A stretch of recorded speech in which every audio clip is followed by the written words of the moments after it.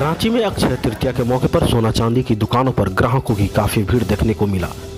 जैसे जैसे शाम होता गया, शहर के ज्वेलरी दुकानों में खरीदारों की भीड़ उमड़ने लगी। वहीं दुकानदारों द्वारा भी इस मौके पर ग्राहकों को ध्यान में रखते हुए सोने चांदी पर विशेष छूट दिया गया।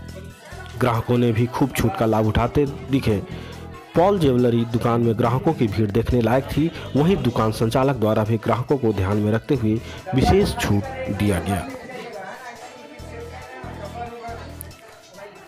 दरअसल अक्षय तृतीया के दिन सोना खरीदना शुभ माना जाता है।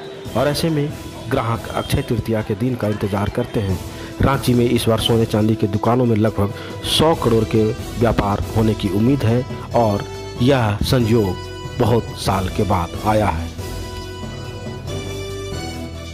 लाइट वेट ही ज़्यादा चल रहा है। कस्टमर पहले वाला बात नहीं रहा है कि भारी माल दिखेंगे। अभी सब पे ज़्यादातर हल्का वज़न का सामान रहे हैं लाइट वेट में हमको दिखेगी। तो लाइट वेट का कलेक्शन हम लोग काफ़ी बढ़िया किए हुए हैं। कस्टमर अप्रिसिएट भी कर रहे हैं। मेकिंग चार्ज ऑफ़ और डायमंड में ज़ीरो परसेंट मेकिंग है। मैंने डायमंड में कोई भी बेकिंग दिया नहीं जा रहा है। डायमंड सारा जो है ऑर्नामेंट जो है डायमंड के वो आई जी सर्टिफाइड है हॉलमार्क किया हुआ है। है ना?